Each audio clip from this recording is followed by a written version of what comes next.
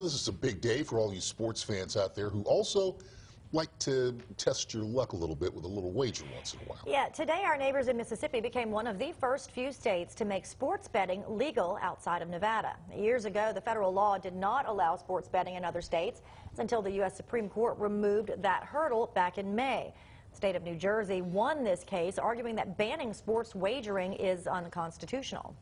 They're going to be able to come in um, and um, make an investment on a team, and they're going to be invested uh, you know, while they watch that team. You know, they're going to be on the same side rooting the teams. You know, obviously they got to win by a certain amount of points. You don't have exactly the same rooting interest unless you bet money line, but um, you know, it's a great uh, augmentation to you know watching a game. You're going to be uh, uh, have a lot more excitement uh, generated when you've got SEC football going on. It's going to be not just uh, you know for the heart; it's going to be for the wallet as well. If you're headed toward Tunica, but Mississippi, by the way, you can participate in sports betting there at the Gold Strike Casino.